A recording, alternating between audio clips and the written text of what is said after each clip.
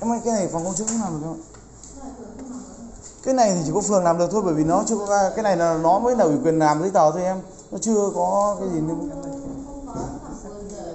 Thẩm quyền của phường đến đâu mà em lại bảo không được? Hả?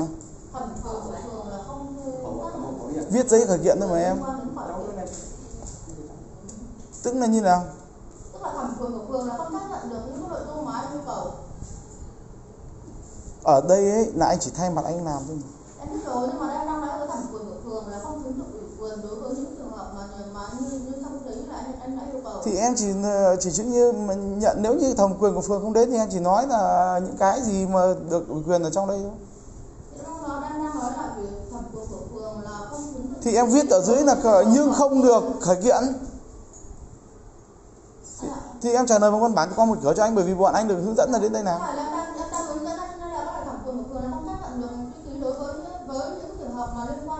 Em thường lấy văn bản nào ra là không có ờ, thể mở trong công một ra là có thẩm quyền của phường. chữ ký đối với trường hợp như nào thì có đều đó đều thể hiện ở trong cái thông tư không một đấy ừ thì em em em em em là người em là người đang hướng dẫn pháp luật thì em là người hướng dẫn thì em cho anh xem cái thông tư xem. Ừ anh search trên mạng được rồi nhưng em cứ cho cung cấp ra xong rồi anh em mình ngồi nói chuyện với nhau có gì đâu. Đơn giản mà. Ừ.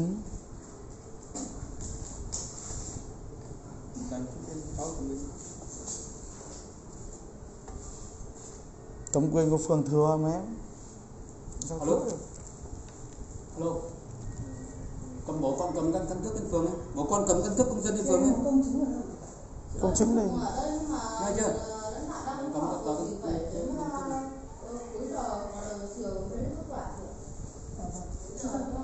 chị chứng thực hiện mai ra văn phòng công chứng làm nhau nó cũng ba giá như đấy hai nghìn ba nghìn tờ tại vì cái giấy này em không nhận ở phòng phòng công chứng em phải phang sang đây.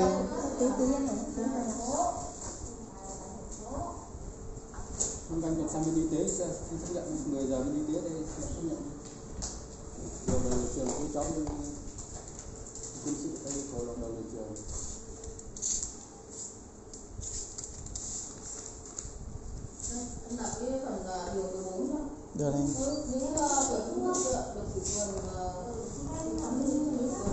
Được này chị anh công chứng cho em Vâng, chị hẹn. Cho em lịch hẹn. Vâng. em công chứng cho mình được không? Chiều đầu giờ chiều tầm mấy giờ? Vâng. em ơi cái việc này nhá là thỏa mãn là điều kiện nhá. Thứ nhất là không có thù nào bọn anh không có thù nào nhá không có nghĩa vụ về bồi thường bên được ủy quyền là anh cũng không có bồi thường nhé đâu chỗ nào anh đang đọc điều một đấy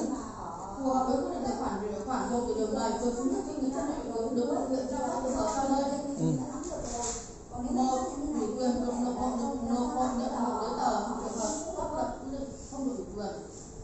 Vâng. nhận hộ lương hưu bưu phẩm trợ cấp phụ cấp thôi, được rồi. Cái gì pháp luật không? Pháp luật yêu cầu là hai người không được ủy quyền cho nhau để đại diện ờ, ở tòa án nếu như nó là hình sự. Còn dân sự, bọn anh anh đây em nên nhớ rằng anh là dân sự em nhé. Pháp luật là không cho phường không được phép ủy quyền tại tòa. Là phòng công chứng chắc chắn không làm được. Anh ra anh ra rồi anh mới về đây anh ra chưa anh không công chứng nào và phòng công chức nào cũng không làm được. Anh khẳng định luôn. Người ta bảo về phường bởi vì chữ ký này chỉ liên quan đến phường thôi. Ừ?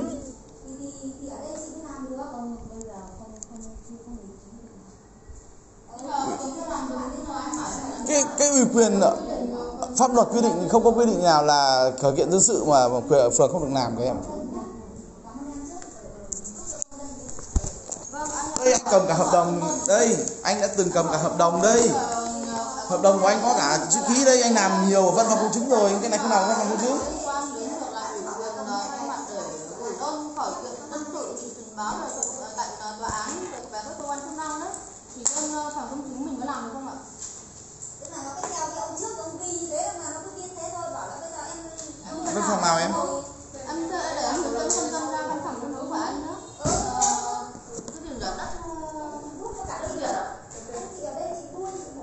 Việt đâu ấy? Ở chỗ nào ấy? Anh đã không muốn làm một văn phòng công chứng mà anh chỉ muốn là em công chứng em trả lời cho anh một văn bản thôi. Văn bản chỉ là không pháp luật không yêu cầu. Bây giờ em em chứng minh cho anh ấy em em là người hướng dẫn pháp luật đúng không? Em là cơ quan đại diện pháp luật đúng không?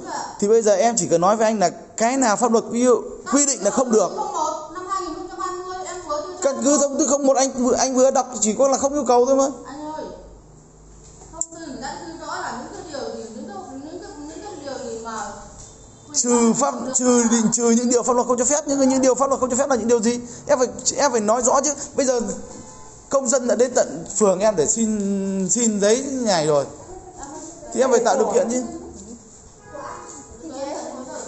Thế thế thế cho anh xin lại màu đỏ nó có bằng gốc cho nên là lại không phải ý là vì làm người nhiều bằng bằng gốc ấy, cho nên là bảo là lúc nào công chứng thì qua lại đầu giờ chiều để cho anh xin lại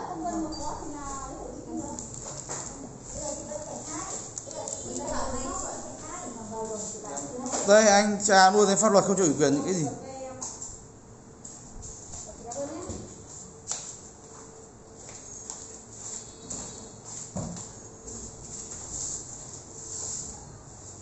sáu trường hợp không được ủy quyền dân được ủy quyền trong lĩnh vực dân sự này Thế đầu giờ chiều quay lại thì được ạ?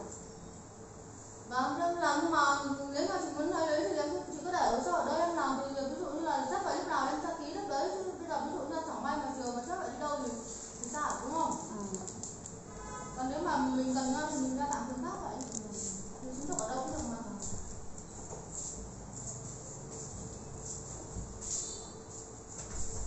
em ơi em đọc lại sáu cái điều không được à, không được ủy quyền đi nhá thứ nhất nhá em là người hướng dẫn pháp luật lẽ ra là anh cái này lẽ ra là em phải hướng dẫn cho anh nhưng không phải anh hướng dẫn cho em nhé thứ nhất đấy là không được ủy quyền trong đăng ký kết hôn nhé thứ hai là không được ủy quyền khi ly hôn nhé thứ ba là không được ủy quyền nhận cha mẹ hoặc con nuôi nhé thứ tư là không được ủy quyền khi mà công chứng di trúc nhé thứ năm là không được ủy quyền khi người, được ủy quyền có quyền lợi lợi ích hợp pháp đối lập với người được ủy quyền nhé đấy là cái thứ năm cái thứ sáu là không được ủy quyền khi yêu cầu cấp phiếu tự lý lịch tư pháp số 2 đấy còn điều nào nữa quy định nữa? Đấy là về luật hộ tịch. Còn đây em đang nói về cái chứng thực ký đối với thẩm quyền của phường.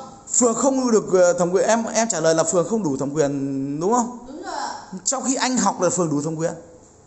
Thì bây giờ em chứng minh đi. Vâng, anh cho anh chứng lại lại chứng minh lại cho em phường thẩm quyền là đủ thẩm quyền đấy. bây giờ em chứng minh cho anh là những cái điều mà đấy. Thông tư 01 năm 2020 em đã đưa cho anh đặt rồi đúng không? thông tư 01 là những cái điều gì mà pháp luật không cho phép. đấy em ơi em em em em em đang gây em đang gây khó dễ cho người dân đấy. Còn anh nói với em này bên công chứng đây là công chứng công chứng tư. Công chứng tư mà còn làm được mà các em không làm được là sao? Đấy, em em em em em lấy chỗ nào là khi khởi kiện nhá khi khởi kiện dân sự thì không được quyền khi ờ, ủy ban nhân dân phường cấp xã phường không được quyền nhá là xác nhận cái chữ ký của người ta. Đây là xác nhận chữ ký thôi mà em đây, đây là anh đang yêu cầu em là xác nhận xác nhận cái ủy quyền về liên quan đến đơn anh đang xác nhận chữ ký em ạ. Đúng rồi đấy thì em đang trả lời là theo cái quyền cho nhau hôm nay không phải đi các cơ quan công quyền trường hợp không pháp luật.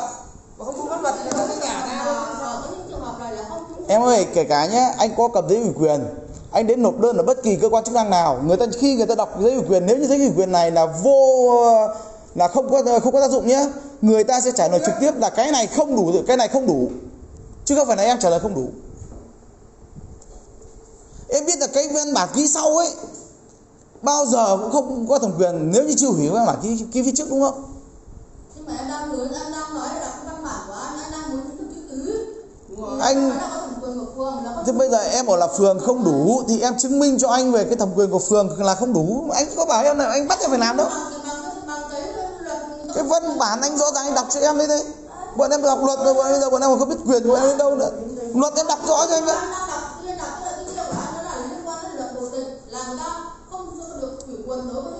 Sao lại luật hộ tịch? Thế bây giờ những điều luật pháp luật quy định quy định làm gì có quy định cấm là công dân không được quyền đại diện nhau thay ở tòa mà pháp là không cấm nhưng mà nó phải tùy từng tùy từng từng từng đơn vị mới làm được. Ví dụ như là ở thẩm quyền của những cái những cái việc anh yêu cầu đây là thẩm quyền thẩm quyền của công chứng cho nên thuộc thẩm quyền của phòng công chức? Vậy thì em xem là xã đấy thẩm quyền đến đâu em bảo là xã không ký được thì em phải chứng minh cho anh là cái này xã được xã không được phép ký. Công chứng ấy chỉ là tư nhân. Rồi bây giờ em phải chứng minh được chứ vẫn cứ vẫn cứ bắt bẻ em rồi em vẫn chịu rồi đây là em học luật à? Em học luật thì bây giờ em phải căn cứ điều làm phải chứng minh được chứ. Bốn trường hợp nào? Giấy tờ đúng không? Ờ một là nhận hộ nhận nộp hồ sơ đúng không? Đâu ờ. Em đọc lại đi thông tư của bọn em anh cầm trong tay rồi anh lại còn không biết anh anh đấy. anh anh chỉ cho em này đây đưa đưa anh chỉ cho. Đưa anh chỉ cho chỗ nào mình làm được anh chỉ chỗ nào làm được chứ phải. Những trường hợp mà pháp luật không cấm, em làm em làm sai thì em phải nhận em sai, hoặc là em bảo là em không dám làm, hoặc là em không chắc chắn này sẽ có kiến nghị rồi. Em cứ yên tâm. Anh không có kiến nghị thì anh anh văn phòng công chứng. Đấy chỗ em, anh thường xuyên ở văn phòng công chứng. Nói thế cho nhanh đây hợp đồng văn phòng công chứng đây, bọn anh thiếu gì? Bọn anh soạn sẵn rồi đây. Nhưng vấn đề là nó không được. Anh bảo là ở phường xác nhận được. Còn bây giờ em bảo sao về thế nếu như những cái thủ tục này mà nó liên quan nếu như mà trong thẩm quyền em em cho phép đúng không? Mà em không làm cho anh đúng không? Mà sau này mà anh chứng minh được là em có thì em có bồi thường cho anh cái thời gian đi lại không? Bởi vì này, cái này trong thẩm quyền của em mà, anh đến cho em rồi em không làm. Thì này, em đang phiền hà, em lợi dụng chức vụ quyền hạn mà em làm cho anh phải mất thời gian. Được chưa? Anh đã nói trong thẩm quyền của em rồi. Nhưng mà em cứ chứng minh là không có, thì anh khởi kiện em được chưa? Anh khởi kiện em luôn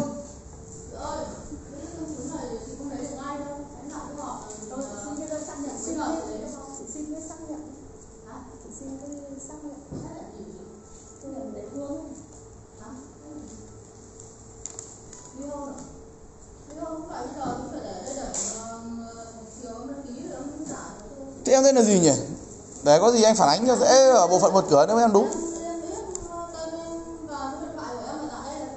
Ừ. đấy anh xem em tên gì anh xem cái quận này nó làm bên đâu. Đâu cán bộ công chứng đâu. Nê Lê Thị Thanh Mai này, Nguyễn Thị Minh Trang này. Thì em là ai? Trong hai người này. à. Nguyễn Thị Minh Trang đúng không? Số điện thoại là 0388 992 ok.